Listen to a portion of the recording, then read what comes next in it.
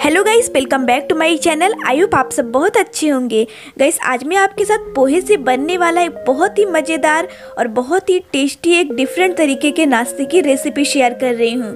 तो गाइस ये रेसिपी कैसे बनेगी? चलिए इसकी रेसिपी शुरू करते हैं। तो गाइस इसके लिए सबसे पहले हमें ले लेना है पोहा। तो मैंने यहाँ पे ना डेढ़ कप पोहा लिया है मतलब डेढ़ कटोरी लिया है। अब हमें लेना है मिक्सी जार। और इसमें पोहे को ऐड कर देना है। और इसे हमें एकदम महीन हमें ग्रिंड कर लेना है। और गैस इसे ना चूरा भी बोलते हैं, पोहा, चूरा, दोनों चीज़ें इसको बोलते हैं। अब चलिए इसको हम ग्रिंड कर लेते हैं। तो गैस ये देखिए, इस तरीके का ना ग्रिंड करने के बाद एकदम पाउडर बन जाएगा, ये देखिए, इस तरीके से। अब इसे हमें एक बाउल में निकाल लेना है। कहीं जैसे चावल का आटा होता है ना, बिल्कुल वैसे ये भी हो जाएगा, क्योंकि पोहा भी चावल से ही बना होता है। अब इसमें हमें ऐड कर देना हाफ़ टी स्पून जीरा। हाफ़ टी स्पून अजवाइन हाफ़ टी स्पून कुटी हुई लाल मिर्च मतलब chilli flakes half teaspoon नमक. और दो यहाँ पे हरी मिर्च. इसके बाद हम इसमें ऐड करेंगे हाफ़ टी स्पून अदरक लहसुन का पेस्ट अब गैस मैंने यहाँ पे तीन मैस किए हुए आलू ले लिए हैं. अब हमें इसको इसमें ऐड कर देना है. मैंने यहाँ पे बॉईल किया आलू लिया तो उसको मैंने अच्छे से मैश कर लिया है। अब इसके बाद हम यहाँ पे ऐड कर देंगे ढेर सारी धनिया की पत्ती। अब सभी चीज़ों को अच्छे से मिक्स कर लेना है। अब गैस ना इसे अच्छे से मिक्स करने के बाद ना हम इसमें थोड़ा थोड़ा पानी ऐड करेंगे। जैसे आटा होता है ना, वैसे हमें इसको लगा लेना है।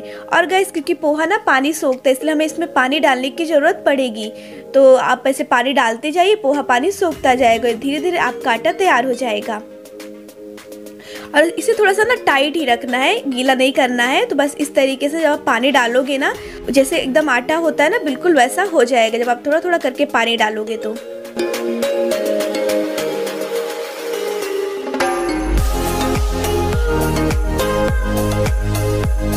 ये देखिए गाइस इस तरीके से ये हो जाएगा। अब इसे हमें ना 10 मिनट तक सेट होने के लिए रख देना है।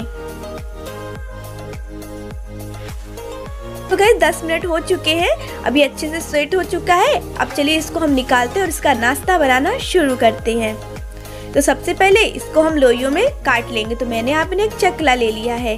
ये देखिए, इतनी बड़ी मैंने यहाँ पे लोई ले ली है।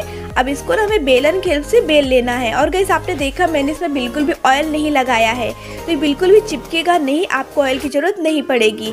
बस आपको ना इस तरीके से लंबा लंबा एकदम बेल लेना है।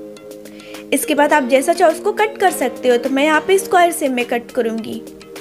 आप अगर गोला करना चाहते हो तो आप गोला ग्लास की हेल्प से इसमें कर सकते हो। मैं यहाँ पे चकोर करूँगी और बहुत ही आसानी से कट भी हो जाएगा और बिल्कुल भी ये चिपकेगा नहीं। तो अब इसको हम चार पार्ट में कर लेंगे। ये देखिए इस तरीके से। और देखिए, देखने में कितना सुंदर लग रहा है। मैं आपको ना एक दिखाती हूँ, देखिए। बिल्कुल भी टूटा भी नहीं और बहुत ही आसानी से देखिए कितना परफेक्ट हमारा बन गया है। अब गैस इसी तरीके से ना हमें सभी को बना लेना है।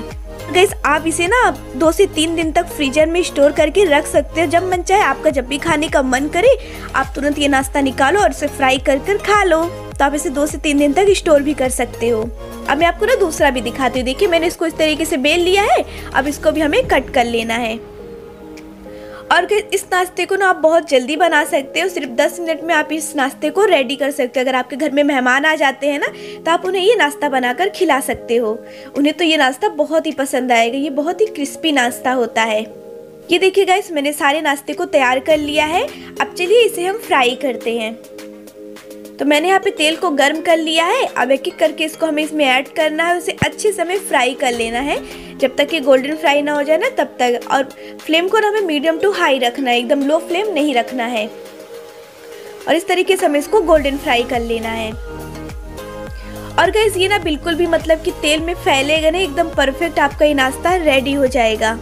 तो गए जब आपको कोई भी नाश्ता बनाने में समझ में नहीं आ रहा हो कि हम क्या बनाएँ तो आप झटपट ये नाश्ता बहुत ही जल्दी बना सकते हो और ये चाय के साथ तो बहुत टेस्टी लगता है। और ये देखिए, बहुत ही अच्छे से गोल्डन हो चुका है। अब हमें इसको निकाल लेना है। एकदम परफेक्ट हमारा नाश्ता रेडी हो चुका है। ये देखिए, जब इतना कलर आ जाए ना, आपको इसको निकाल लेना और ये बहुत ही क्रिस्पी हो गया है। और देखिए, देखने में कितना सुंदर और टेस्टी लग रहा है ना? और इसी तरीके से गैस हम सभी को फ्राई कर लेंगे। फ्राई करने के बाद हम इसे गर्मा गर्म सर्व करेंगे। और इस पोहे का ये नाश्ता ना बच्चों का तो फेवरेट हो जाएगा। उन्हें ये नाश्ता बहुत पसंद आएगा। तो बस गाइस अब इसे भी हमें फ्राई कर लेना है।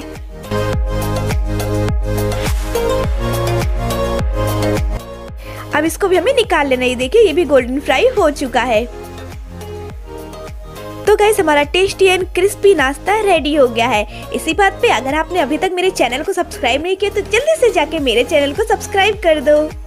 तो गैस जब भी आपको कुछ अलग नाश्ता खाने का मन करे और बहुत कम समय में बनने वाला नाश्ता आपको चाहिए तो आप जल्दी से ये नाश्ता बना सकते हो और फैमिली के साथ इंजॉय कर सकते हो। तो गैस अभी मैं ना आपको इसकी आवाज़ भी सुनाऊँगी, आप देखिएगा कितना क्रिस्पी बना है। तो गैस बना है ना बहुत ही क्रिस्पी अभी मैं आपको तोड़ कर भी दिखाऊँगी, आप देखिए कि कितना टेस्टी और कितना क्रिस्पी है। तो गाइस आई होप आपको मेरी टेस्टी पोहे की रेसिपी अच्छी लगी होगी। अगर रेसिपी पसंद आई हो तो जल्दी से वीडियो को लाइक कर दीजिए शेयर कर दीजिए और अगर अभी तक आपने मेरे चैनल को सब्सक्राइब नहीं किया तो जल्दी से मेरे चैनल को सब्सक्राइब कर दीजिए।